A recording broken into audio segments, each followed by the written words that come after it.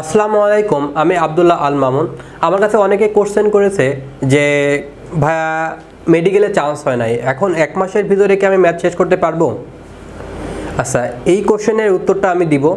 তো, আমি তোমাকে যেটা বলব যে, এক মাসে শেষ করতে পারবা কি পারবা না, এটা ডিপেন্ড করে তুমি আগে কতটুকু গ্যাপ দিয়েছ বা কতটুকু পড়াশোনা করেছ সেটার উপরে? তুমি যদি ফাঁকিতে থাকো তাহলে একটু ঝামেলা বাট তুমি যদি একটু লেগে থাকো তাহলে পসিবল অসম্ভব নয়, ঠিক আছে? বাট একটু কষ্ট হবে বাট তোমার যদি স্বপ্ন থাকে ঢাকা ইউনিভার্সিটি ভালো সাবজেক্ট পড়ার, তাহলে অবশ্যই ম্যাথ দেখানো উচিত। কারণ ম্যাথ না দেখালে তুমি অনেক সাবজেক্ট হারিয়ে ফেলবে, যেমন CSC nuclear engineering robotics and mechatronics engineering triple E তারপরে তোমার আরও অনেক অনেক সাবজেক্ট আছে। আমি তোমাদের একটা ভিডিওতে দরকার আলোচনা করব এটা নিয়ে। সেই সাবজেক্টগুলো তুমি মিস করবা। যাই হোক সো এক মাসের ভিতরে আমাদের প্রস্তুতিটা আসলে কেমন হওয়া উচিত, কেমনে হওয়া উচিত এবং কী টেকনিক অ্যাপ্লাই করলে এক মাসের ভিতরে আসলে প্রস্তুতিটা নেওয়া যেতে পারে, সেটাই মূলত তোমাদের সাথে আমি আজকে শেয়ার করব। তো তার জন্য আমি এখানে কিছু স্যাম্পল আমি দেখাবো।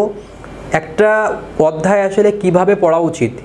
একটা অধ্যায় কীভাবে পড়লে অল্প সময়ের ভিতরে তুমি কাভার করতে পারবা, সেটা যদি জেনে যাও তাহলে সবগুলো অধ্যায়ের জন্য তুমি যদি সেই টেকনিকগুলো অ্যাপ্লাই করো, তাহলে অল্প সময়ের ভিতরে ম্যাথ প্রস্তুতি হয়ে গেল না? তো সেটা মূলত আমি তোমাদের দেখাবো। ওকে সো একটু খেয়াল করো। আমি এখানে লিখেছি অন্তরীকরণ, প্রত্যেকটা চ্যাপ্টার এভাবে পড়বা।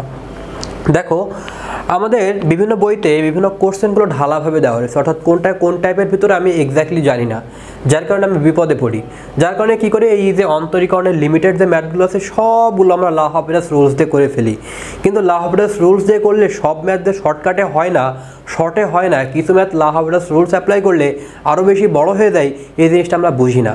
সো এই জিনিসগুলো তোমরা আজকে ক্লিয়ার হয়ে যাবে। আজকে ক্লাসটা একটু দেখো। দেখো যে আমি এই জিনিসটাকে, এই অধ্যায়টাকে মোটামুটি ছয়টা টাইপে ভাগ করেছি। এই ছয়টা টাইপে করতে পারলে অন্তরীকরণের লিমিট পার্টটা ক্লোজ এবং লিমিট থেকে একটা কোর্সের মাস্ট আসবেই।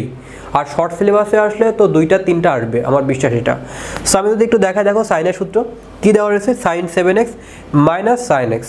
এখানে সাইন সিক্স এক্স। এটার উত্তর কত হবে? দেখো, ঢাকা ইউনিভার্সিটির জন্য ম্যাথে প্রায় সেভেন্টি পার্সেন্ট বা এইট্টি পার্সেন্ট শর্টকাটে করে দেয়। আমি তোমাকে কয়েকটা স্যাম্পল দেখাই। দেখো এখানে সাইনের সূত্র। আমি এখানে তো সাইনের সূত্র লিখেছি, যার কারণে দেখো এখানে সাইনের ম্যাথ লিখেছি। সো সূত্রটা হচ্ছে এমন যে লিমিট এক্সটেন্স টু শূন্য, আর এখানে যদি আমি এরকম লিখি যে সাইনের বিয়োগ ফল অর্থাৎ সাইন এ এক্স আর এখানে লিখব হচ্ছে sine b x divided by হচ্ছে এখানে sine c x minus sine d x যদি আমি এটা কখনো লিখি, তাহলে উত্তরটা কেমন জানো? উত্তরটা হচ্ছে এমন, যে এই যে আমাদের যে এখানে যে মানে সহগগুলো আছে, সেইগুলোর বিয়োগফল নিলে আসলে হয়ে যায়। কোণের যে ব্যাপারটা আছে, কোণের যে ভ্যালুটা আছে a minus b minus minus বসল, বিটা বসল, সি এখানে মাইনাস মাইনাস থাকল, ডি এখানে, ঠিক আছে? উত্তর হয়ে গেছে। এখন যদি কখনো আমাদের এই পার্টটা না থাকে, তাহলে ফাইন আমরা ডিটা মুছে দিব, যদি না থাকে। তাহলে দেখো, খেয়াল করো, এটা উত্তর কত? তাহলে এখানে সাইন সেভেন এক্স আছে, এখানে সাইন এক্স আছে। তাহলে সেভেন থাকলে সেভেন আর মাইনাস এখানে এক্স আছে মানে কত? ওয়ান আছে। ডিভাইড বাই এখানে সিক্স আছে, যেহেতু শুধুমাত্র একটা পার্ট আছে, যেমনটা এরকম। সো উত্তর কত? ওয়ান কোশ্চেনটা হয়ে গেছে। দেখো, ঢাকা ইউনিভার্সিটির কোশ্চেন জাস্ট তুমি দেখবা না, উত্তর বলবা। পাঁচ সেকেন্ডের ভিতরে উত্তর হয়ে যাবে। ঢাকা ইউনিভার্সিটি পনেরো ষোলো সালে আসছিল। এই কোশ্চেনটা কিন্তু, এই সাইনের সূত্র দিয়ে কিন্তু এখনও পর্যন্ত আর আসে নাই। সো বেশ গুরুত্বপূর্ণ কিন্তু সামনের জন্য, ঠিক আছে? এবার দেখো আমরা কজের ফর্মুলাটা দেখতে দেখি। কজের ফর্মুলার অনেক কিছু ব্যাপার আছে। যেমন ধরো, এই জায়গাটা যদি আমি সাইনের জায়গায় কস দিয়ে দিতাম না, এই জায়গাটা যদি আমি কস দিয়ে দিতাম, তাহলে কী হতো জানো? কস দিয়ে দিলে যদি আমি এই জায়গাটা কস দিয়ে দিতাম, সব সেম থাকবে, ধরলাম যে এই জায়গাটা আমাদের কস থাকল। সো সেই ক্ষেত্রে আমাদের সূত্রটা কেমন জানো? সূত্রটা হচ্ছে এমন যে আমাদের এই ক্ষেত্রে এই পরের যে সহগটা থাকে, সেইটার স্কোয়ার লিখব আমরা, আর মাইনাসটা এখানে লিখব, আর প্রথমে যেটা থাকবে, সেইটার আমরা স্কোয়ার লিখব। ডিভাইডেড বাই একই রকমভাবে এখানে এরকম সি স্কোয়ার কোনো কিছু নাই, তাহলে এখানে যদি কস ডিএক্স লিখতাম, তাহলে এখানে হতো ডি স্কোয়ার যেহেতু নাই সো এরকম হবে আমাদের জিনিসপত্র। এখন যদি কখনো এমন হয় যে এই জায়গাটা কজ আমি এখানে মুছে দিয়ে এখানে এক্স স্কোয়ার লিখলাম, এখানে কি লিখলাম? এক্স স্কোয়ার অর্থাৎ cos x minus cos b x divide by x square তো তাহলে এক্ষেত্রে হয় b square minus a square divided by x স্কোয়ারের সহগ যখন ওয়ান তখন এখানে আমরা টু লিখি। ভালো করে বোঝো। এক্স স্কোয়ারের সহগ যখন ওয়ান তখন এখানে আমরা টু লিখি। টু লিখি, খেয়াল করো, টু লিখি। তাহলে যদি এরকম লিখতাম যে cos three x minus cos five x divided by হচ্ছে এক্স স্কোয়ার এটার উত্তর কত? উত্তর কী হতো জানো? উত্তর হতো কি? পরেরটার স্কোয়ার মাইনাস আগেরটার স্কোয়ার ডিভাইড বাই এক্স স্কোয়ারের সহগ যখন ওয়ান তখন এখানে টু হয়। সো ক্যালকুলেট করে উত্তর ফিনিশ এখন যদি কখনো এমন থাকে যে আমাদের এই জায়গাটা কত আছে? ওয়ান আছে। সে এই জায়গাটা ওয়ান আছে। এই জায়গাটা ওয়ান থাকে মানে বোঝো? এই জায়গাটা ওয়ান থাকে মানে কি? কস জিরো এক্স আছে। কারণ কস জিরো এক্স মানে কত? কস জিরো এক্স মানে হচ্ছে তোমার কস জিরো কস জিরো আর cos zero value one so cos zero x মানে কস জিরো তার মানে হচ্ছে ওয়ান সো ওয়ান মানে এখানে রয়েছে কি মূলত? কস জিরো এক্স রয়েছে কস জিরো এক্স সো আমি এখানে লিখতে পারি বি স্কোয়ার মাইনাস শূন্য স্কোয়ার বাই হচ্ছে টু সো আমি এটা লিখতে পারি বি স্কোয়ার বাই হচ্ছে বি স্কোয়ার বাই হচ্ছে টু ঠিক আছে?